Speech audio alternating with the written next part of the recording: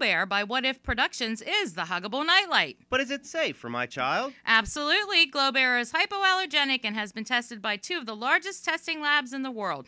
It is also machine washable and dryer safe. By night, Glow Bear shows off its brighter side. Wow, look at it glow. That's right. It'll glow all night and for the life of the bear without batteries or electricity. Who, needs, a nightlight when Glow Bear is around?